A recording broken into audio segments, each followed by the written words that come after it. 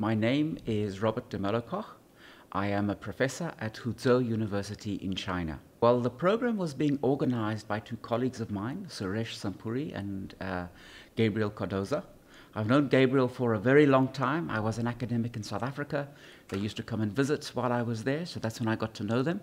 And they mentioned they were putting together this program. I thought it was a wonderful idea and decided to get involved. We were looking for a Rothschild Fellow, and specifically someone who is involved in outreach and, and public speaking.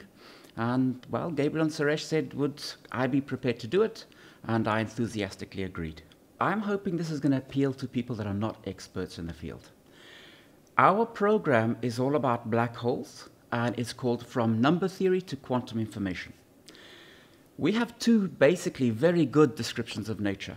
One is quantum field theory, which describes the universe at the smallest possible scales, and the other is Einstein's theory of general relativity, which describes the universe at the largest scales. When you want to combine these two sets of laws, they just don't play together nicely.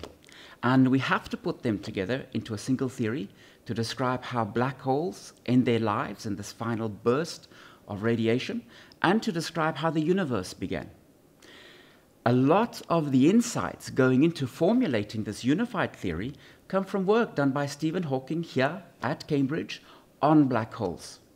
In my Rothschild lecture, I'm going to try to take you from Hawking's discoveries about black holes all the way through to our modern idea in which we believe that our universe may in fact be holographic. And this three plus one dimensional world that we live in is secretly only two plus one dimensional.